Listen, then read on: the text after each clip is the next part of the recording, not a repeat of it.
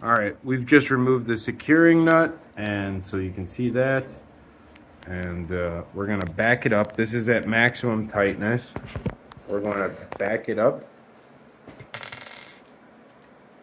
to the position, the nearest back position. There's that. Now we're gonna take the securing nut and we're gonna secure it back up.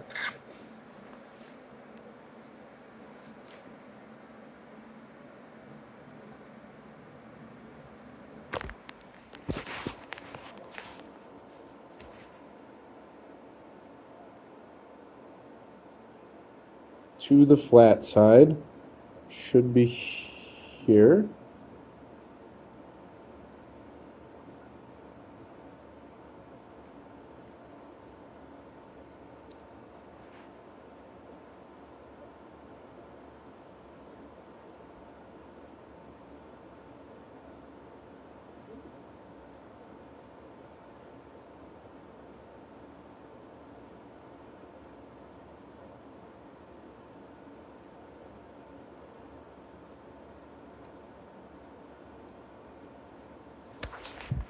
And as you can see, after we've rotated the collar back, it is now unsafe because it has horizontal movement, which will tear the cable.